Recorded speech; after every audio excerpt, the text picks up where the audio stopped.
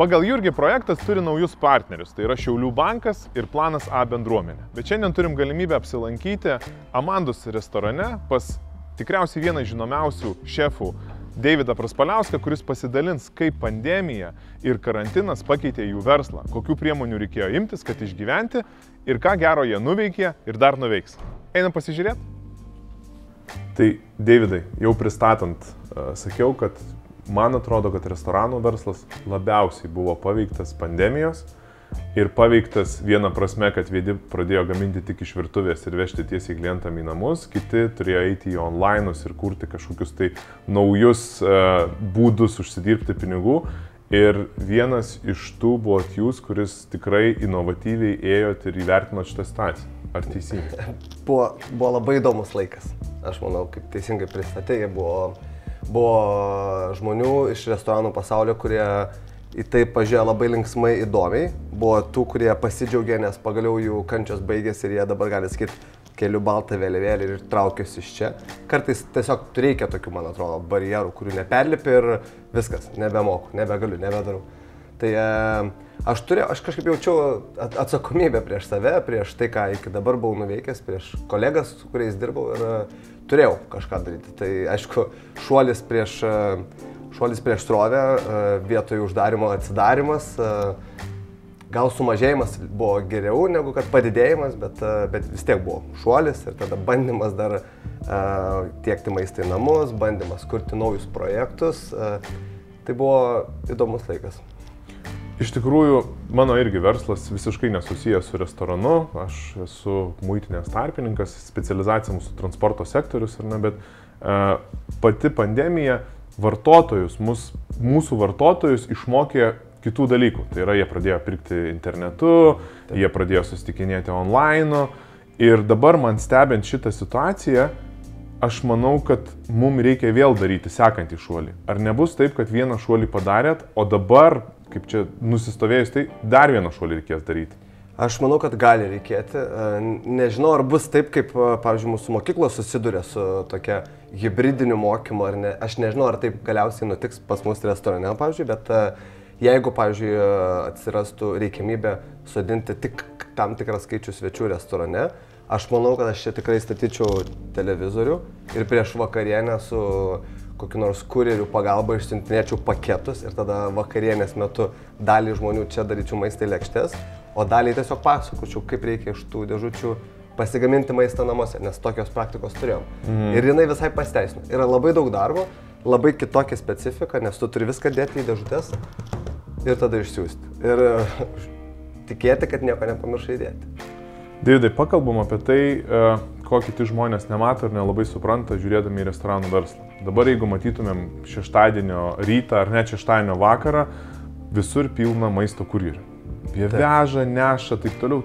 Ką tai reiškia? Tai reiškia, kad žmonės pakeitė savo įpročius ir nebeina į restoranus. Taip. Kaip tai paveikia restoraną, nes visi sako, taigi faina, taigi iš jų užsakinėja ir jie atveža. Taip. Kaip tai iš tikrųjų tiesiogiai veikia jūsų verslą?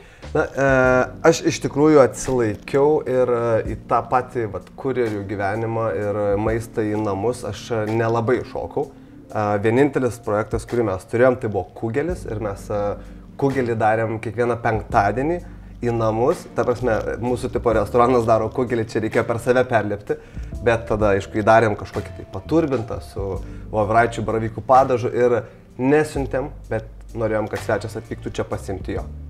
Tai nors kažkokį kontaktą turėjom, nepaleidom jų iš savo akiračio, jie nepaleido mūsų, džiaugiasi, kad mes vėl susitiksim kažkurio metu, bet, bet aš šitai neiššoku, nes aš pasiskaičiau, kad man, ne, man nebūtų jokios prasmės dirbti. Kai čia yra, kai mes esame restorane, tai aišku, dalis dalykų yra, kur tu tiesiog atkimši butelį, įpili ir tu supranti, kad tu, nu jau kažką tai uždirbi. Taip. Bet jeigu mes kalbam tik tai apie maistą, kurį aš čia sudedu į lėkštę, kuri man jau nebekainuoja, nes jinai jau yra pas mane. Bet kai mes kalbam apie vienkartinius indus, kai mes kalbam apie maistą, kurio tikrai netokią kainą aš galiu uh, parduoti. Pateikimas yra Nes pateikimas irgi. yra labai, yra viso ko. Ta prasme, mano darbas tai yra viskas apie pateikimą ir net ne visą laiką apie skonį, kuris yra lėkštėje. Apie tai, kaip mes tai padarom. Kaip profesionalūs vyrėjai, padavėjai dirba savo darbą ir tada aš galiu uh, taikyti kažkokį mokestį, kuris yra truputėlį didesnis negu kad į namus. Į namus, mes paskaičiavom, kad aš primokėsiu tam, kad mes turėtumėm darbą. Tai, nėra, tai nebuvo pasirinkimas.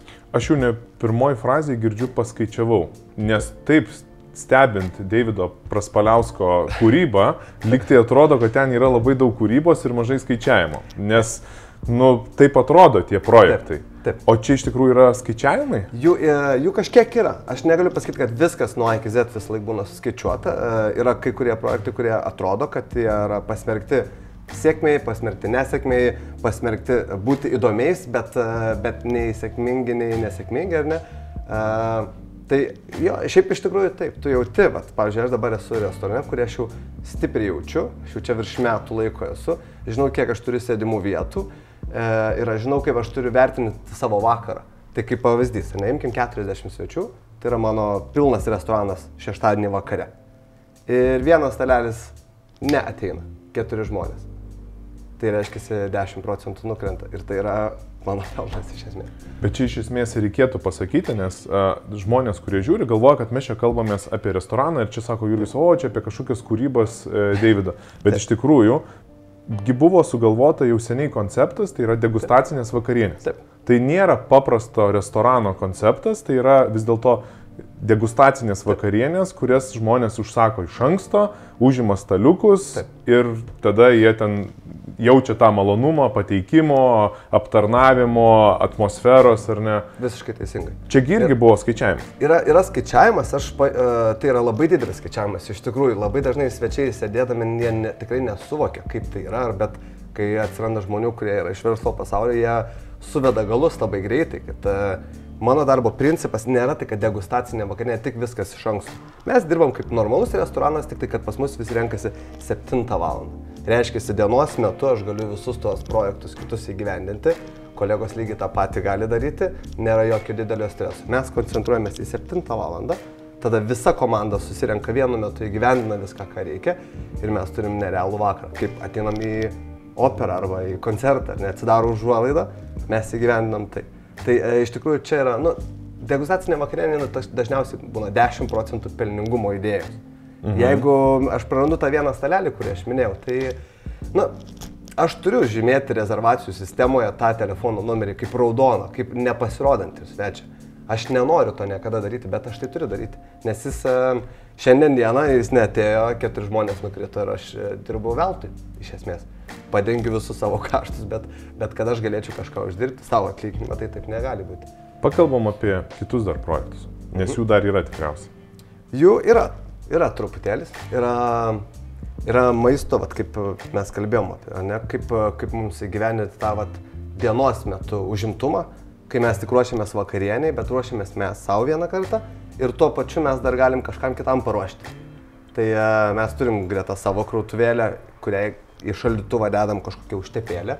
Mes dar turim keletą partnerių, kurie tai Timo turguje, tai Benediktų turguje yra ir jie labai nori turėti mūsų produkciją kažkokią, kur yra trumpo galiojimo. Tai gal galėtų būti kažkada kitaip, bet šiuo metu tai yra trumpo galiojimo, bet tai, ko mes per karantiną pagaminom, aš nežinau, aš galėčiau užpildyti visą restoraną kokį nors rūkyto šamo užtepėlę, nes mes jo tiesiog padarėm nerealų skaičių nerealų kiekį viso to. Tai, tai tie, nu, va, tokie mažyčiai projektai greta, ten kažkoks šokoladas susikūrė, ne, receptūros pakavo, jau ten yra ilgalaikis projektas truputėlį, jis jau stovi Euro uosto lentynoje, stovi Vikio parduotuvės lentynoje, tai jie po truputį kūrėsi, juda ir man karantinas iš tikrųjų dar darė tokių papildomų, nežinau, išbandymų, perlipimų per save, ar aš galiu, ar aš moku dirbti su didesniais fabrikais, su didesniais prekybos centrais, tai tas ir nutiko, man atrodo, nuo šių metų veik sausio pačios pradžios. Aš patapau vienas iš e, e, veidų prekybos centro, lietuviško, e, kur mes kuriam naujus produktus jiems. Tai įsivaizduokim, aš galiu, aš žinau, kaip aš iškepsiu 30 kepaliukų duonas savo restoranui nu, ir dar kaimynam. Bet kaip iškepti iš 10 tūkstančių kepaliukų, aš to neturėjau, aš neturėjau supratimo, kaip tai padaryti. Dabar aš jau galiu pasakyti, kad žinau. Klausant tą naują projektą arba bendradarbiavimą su prekybos tinklu, čia negaliu nepaklausti apie prekinio ženklo žinomumą arba darbą su prekiniu ženklu. Kaip suprantu, iš to jisai padeda. Bet tikriausiai yra vietų, kur ir trukdo. Yra, yra vietų, kur trukdo, yra vietų, kur padeda. E, džiaugiuosi tom, kad dažniau padeda ir aš manau, kad gal jau atėjo tas laikas, kai jau tikrai nemažai metų aš savo sferoje ir ten darausi stabilesnis, tvirtesnis, platesnė pėda padėta ant žemės, ar ne, daugiau, veiklų vyksta, diversifikuojam viską, ką darom. Ir e, prekinis ženklas jis atveria labai dažnai e, daug durų, daug lengviau. Turiuomenė, jeigu e, aš netiduodu daugelio darbų kolegoms, kurie ten kurtų receptus, bendrautų su fabrikėliais, kurie mums kažką tai gamintų ar ten dar kažką. Aš pats turiu eiti ten, nes, nu, vat, kažką duoda tas veidas. Kažką mhm. duoda tas vat, prekinis ženklas. Ne, ne tik, kad Amandos, taip, Amandos yra labai gero restorano pavadinimas. Uh, Davidas Praspaliauskas yra visiškai kažkas kito. Kartais netgi Amandos neegzistuoja daugelio žmonių mąstysenoje, nes jie eina pas Davidą. Vieni pas Davidą, kiti pas Praspaliauską, treti eina į tą restoraną, kurį kažkas rekomendavo mm. tai yra mhm. Praspaliausko. Arba tai yra Amandos jau užsieniečiams labiau. Taip sakykime. Vakarienės metu užsienietis tik vakaro pabaigoje jis suvokia, kai aš ateinu įteikiu dovanėlę atsisveikinant ir tai tu, tai tu čia ir esi tas žmogus, apie kurį aš girdėjau, kaip pavyzdys, ar ne? Bet čia Lietuvoje, kai mes kalbam apie a, žmonių pasiekimumą, taip galbūt mano lankytojų ratas nėra toks didžiulis, kokį aš galbūt norėčiau turėti, bet man patinka dirbti su tokio tipo restoranu. Aš nenoriu daryti penkių restoranų vienu metu. Man patinka vienas, kuriame aš esu. Tai pliusas yra tas, kad e, žmonės žino, kad atėjo mane suras. Minusas yra tas, kad e, mano išvykimai iš šalies arba didesni projektai, jie gali vykti tik sekmanį, pirmadienį, antradienį, kada restoranas nedirba. Nes pasigės, nebebus tos. Ne tai, kad pasigės, ne tai, kad nebebus to, ne tai, kad maistas bus neskanesnis. Yra, yra, vat, yra kažkoks cinkelis, kurio aš negaliu pasakyti, kas tai yra būtent, bet e, aš stoviu prie įėjimo ir kiekvienas svečias užeina ir jis tu jį pasitinki, tu jį nuteiki teisinga linkme, tu jį pasodini, e, išsiaiškini tai, ko reikia ir, ir tiesiog, man atrodo, visi jau jaučiasi saugiai ir, e, nu žinot, kas nutinka, kai krepšinio komandą paleidai be trenerių. Nu, liktai visi, visi labai geri žaidėjai, bet, bet yra kažkas, kas žaidimo metu turi strateguoti ir aš esu tas žmogus, kuris kuris tą daro. Aš mažai gaminu, bet aš labiau strateguoju ir galvoju, kaip padaryti, kad šitas restoranas būtų ten, kuris yra. O kas padėjo uh, tapti tuo žinomu žmogum? Ar, uh, nu, vat, atsukus dabar tuos 10, ten 15 metų atgal, vis tiek, Taip. man atrodo, pergalvojot, kas buvo gerai, kas buvo blogai, nes kiti žmonės uh, tikriausiai irgi norėtų būti kaip lietuviški Jamie Oliveriai ar ne ir, ir, ir turėti tokią pačią šlovę. Jų, jų ir yra, aišku, tie, kas atranda savo kelią teisingai. Aš, aš labai džiaugiuosi, nes matyt, mane labai laiku stumtelėjo į gerą restoraną dviem savaitėm pasipraktikuoti, kai dar studijavau Kopenhagoje.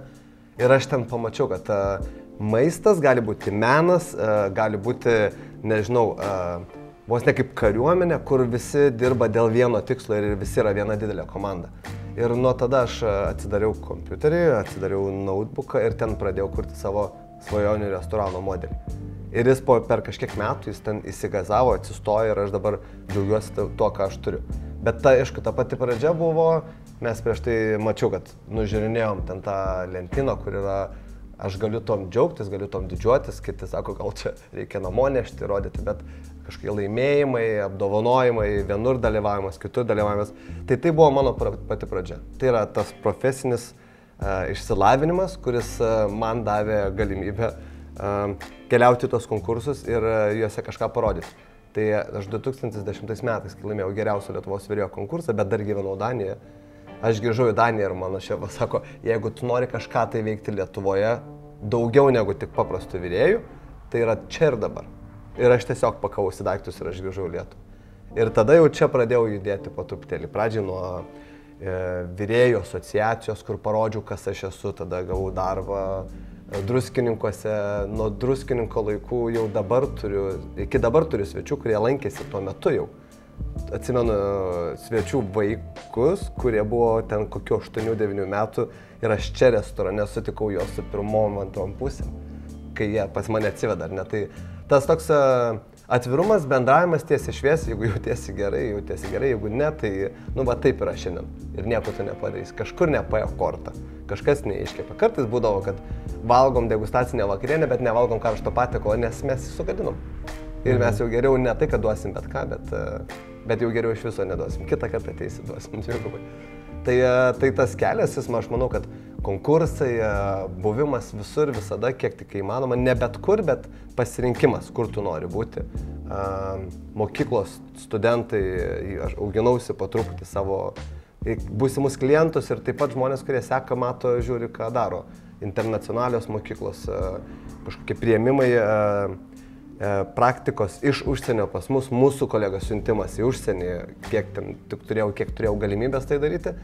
Aišku, e, socialiniai projektai įvairūs nuo, nuo iki Z. Jie vis tiek turėjo labai didelę, e, labai didelę prasme man ir labai didelę prasme daugelio svečių akise, kurie žiūrėjo į mane kaip tą. Ir, ir ne vieną kartą aš, nu, vat, net ir čia sėdintis žmogus sėdė ir sako, bet aš tave sekmadienį 10 val. vakare mačiau nešant kažkokias dėžės į restoraną. Ir e, kas tai buvo? Ir aš tiesiog sakau, tada mes turėjom vakarienę oro balione ir tai yra tik vieno žmogaus vieta, kur nieks kitas apart manęs negali būti. Gali, bet turime ne aš skrendu, bet aš pagalbinio žmogaus neturiu ir kai viskas baigėsi, aš turiu visus tas dėžės fiziškai susipakuoti, pasitransportuoti ir tai yra dėja, sekmadienis 10 val. vakaro ir nieko negali pakeisti. Tai sunkus darbas šitoje sferoje. Ir mano kelias ir buvo per labai daug sunkaus darbo. E, ir dabar, jeigu reikėtų kartais pasakyti, paklausti, ar kartotum, aš tai aišku sakyčiau, kad aš kartočiau. Mhm. Bet kai pas mane sėdi svečias ir sako, aš jaučiu, kad mano sunus turi cinkelį ant maisto gamybos. Ir aš tada vis laik sakau, atsiųskit savaitį pas mane. Kad jis padirbtų, pabūtų, suprastų, ką mes darom ir tada arba jisai sakys, kad tikrai man patinka, arba sakys, kad, na, aš netaip galvoju, aš galvoju, kad čia yra kūryba, menas, atsistoji prie vienos lėkštės, prie vienos keptuvės ir tu kažką gamini, o čia iš tikrųjų tai taip nėra. Čia nėra Gordono Ramzio modelis, kur uh, ugnis, pėliai, viskas. Ten kartais tokių kolegų ateina, kurie nori to. Hell, hell Kitchen. Tokie Hell, Hell's Kitchen nori ir yra tų, kurie ateina ir galvoja, kad čia drugelė ir paukštelė aplinkui. Tai, tai nei, ten, nei ten, nei ten. Yra per viduriuką, bet tai yra tikrai labai, labai fainas darbas, nes aš būdamas ir, ir įmonės vadovu, ir, ir šefu, aš, nu, aš labai daug galiu ką nuveikti. Aš galiu iš tikrųjų visas tas veiklas, kurias aš paminėjau, nu, jos, yra, jos tikrai veža, jos Paskui, matyt, dėl to tas degustacinės vakarinės modelis jis ir išsigvildeno. Kad ir kas vyksta visos dienos bėgi, aš žinau, kad pusė septynių aš užsidėsiu švarką ir prie manęs nieks nebelys daugiau. Iš išorinio pasaulio, ar ne? Viskas bus tik čia ir dabar. Mhm. 40 svečių, kiekvieną vakarą, jeigu aš pasiekiu tai, tai yra nerealus rezultatas. Tada dopaminas gaminas, ar ne? Čia yra, Taip. čia yra ta. Taip, ir, stre, ir stres, stresas, adrenalinas kiekvieną mielą vakarą. Jeigu to nėra, jau tik, kad kažkas, kažkas tada negerai. Ir e, pergalvoti reikia ir, e, ir kartais būna. Ateina svečiai su dovanų kuponu. Dovanų kuponas kažkurio metu, aš galvoju, pat, pačioje pradžioje, kai pirmą dovanų kuponą pardavėm, aš gal kaip aš tą žmogų vertinsiu, kuris ateis su dovanų kuponu, kuris net pas mane nenorėjo ateiti, bet jam kažkas padovanojo mane. Mhm. Ir aš tada kolegams suprantat, gerai, jie ne patys norėjo ateiti, bet jiems kažkas mus dovanojo. Tai kaip tik mes juos turim pakilėti dar aukščiau, kad jie grįžę namo paskambintų tiem bičiuliam ir sakytų, nu čia buvo totaliai nerealiai. Ir mes siekiam pagrindinio tikslo šiuo metu, kad kas atėjo uh, su dovanų kuponu, išeitų su dar vienu dovanų kuponu kitiems žmonėms. Ir jeigu aš tai... Patį, taip, ir jeigu aš tai sugebu padaryti, tai yra... Tai verslas sukasi tada iš esmės. Davidai, šitas projektas vis tiek e, planas A bendruomenė Šiaulių banko sukurta tam, kad vieni kitiem galėtume padėti. Galbūt ne finansiškai, tiesą prasme, nors bankas ir tai gali, ne? daugiau mentorystė. Tai jeigu dabar reikėtų kažkokio tai, nežinau, burtininko, supermeno, kuris išspręstų, tai kokią problemą jisai turėtų išspręsti jūsų veikloj, gal asmeniam gyvenime dar sunkiau būtų, bet realiai, realiai ką galėtų padėti, padaryti planas A bendruomenė? Aš, jeigu va taip dabar žiūriu tos uh, į veiklas ir e, jeigu yra kažkur toks e, klaustukas, ar ten viskas vyksta sklandžiai, tai aš gal kalbėčiau apie mūsų parduotuvę, kurią turim šalia. E, jinai labai mažyti ir mes ten labai daug dėmesio nekreipiam, bet ten yra vieta, kur žmonės atsiema savo ten štepėlę, savo duoną, ką tik iškeptą, ne? Ir aš galvoju, kad mes esame užupio gatvėje ir, ir aš ne iki galo išnaudoju tas patalpas. Taip, gal ten yra 15 kvadratinių metrų, bet aš galvoju, kad aš ten galėčiau drąsiai dar kažką tai padaryti, bet e, šitoj vietoj aš, ne, aš iškeli galbūt bijau sugalvoti kažkokį modelį, kuris bus sudėtingas ir tada aš turėsiu ten taipogi būti visą laiką. Tai norėčiau susikurti modelį, kurio, kuriam manęs nereikia. Ar tai, ar tai kažkoks tai bariukas, ar tai kažkoks e, šaldytuvas, šaldiklis, ledai, granola, kad ir kas, nežinau. Mini baulo patekliukas, kuriam manęs nereikia, bet, e, bet geras patirimas būtų tikrai, man atrodo. O tarėtės su kažkuo tai, tikrinatės kažkokiai tai grupiai, draugų? Jeigu, rate? jeigu atvirai, tai ne. Mes, mes pakalbam, kad būtų nerealiai, būtų nerealiai, e, mes čia restorane darom tik labai nedidelį kiekį ledų, kuriuos, kuriuos teikiam svečiam. Ar tie svečiai yra mūsų svečiai, kurie eis pro šalį ir užeis ir norės tos, to ledų, nežinau, to ledų kūgo? Aš nežinau, bet toks jausmas, kad reikia padaryti akciją.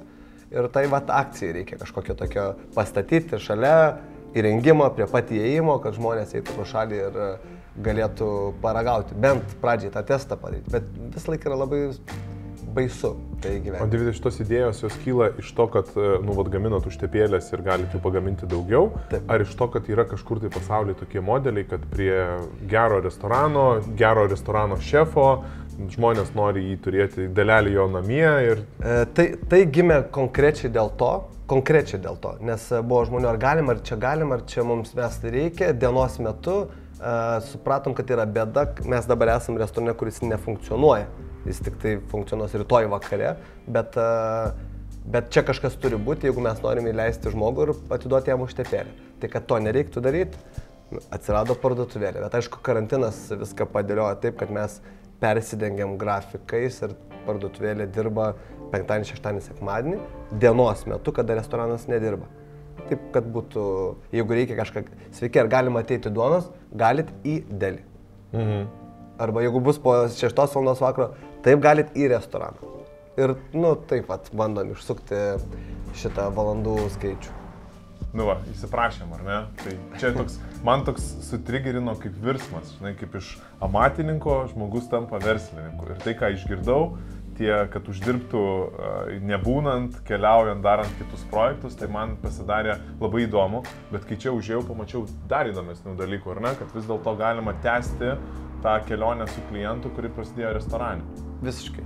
Jeigu tik tai uh, tas svečias, kuris yra čia, nėra akimirkai atvažiavęs, ar tai yra užsienio svečias, kuris šiandien atvažiavo ir to išvažiuoja, arba iš kito miesto atvažiavęs svečias, tai, tai tada tai čia mes, jeigu kalbam apie užupį, tai turim tų lojalių svečių, kurie ryte ateina duonos, ryte ateina krosano, ateina užtepėlės ir, ir kaip ir tas judėjimas vyksta.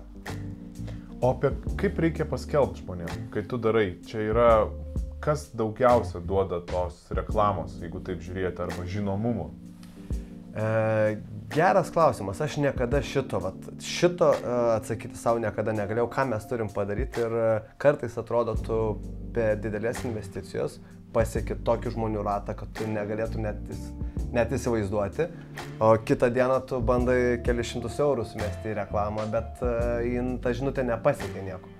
Tai aš nežinau, iš tikrųjų man atrodo viskas apie laiką.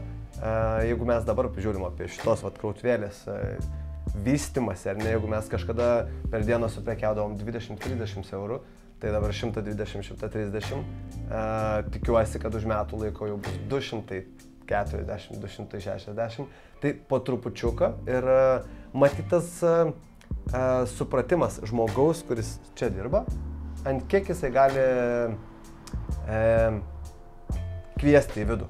Mhm. Atėjo, įkišo galvą, jau nori pabėgti, nes nesupranta, kas čia darosi.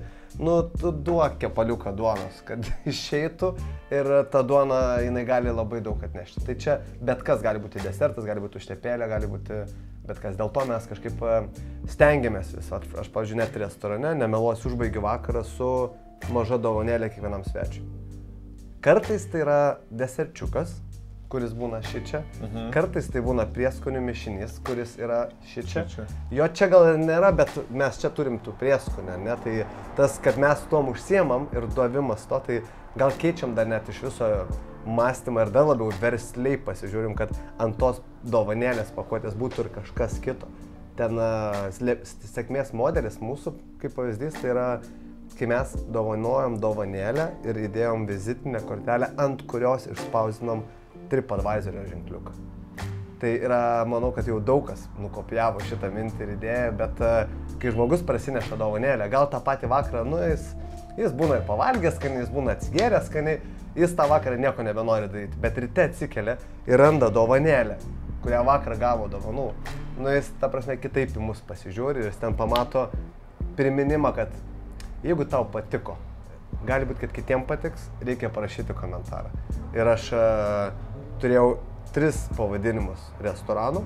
Jie visi, absoliučiai visą laiką buvo pasiekę pirmą vietą TripAdvisorio uh, rekomendacijų skiltyje. Kaip? Tai yra, aišku, ir mūsų geras darbas ir tas papildomas priminimas.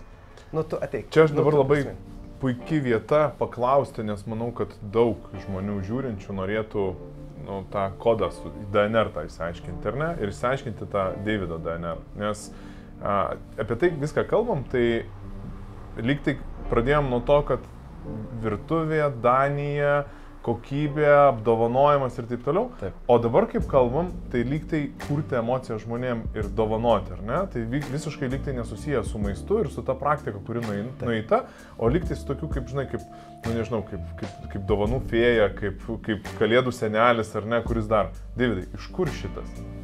E, nežinau, aš tiesiog labai dažnai pagalvoju, kaip aš norėčiau jaustis e, rogėse svečio, kuris valgo pas mane. Ir aš tada bandau sugalvoti, kiek įmanoma daugiau momentų, kur man kaip ateiti. Ar jam reikia surprizo?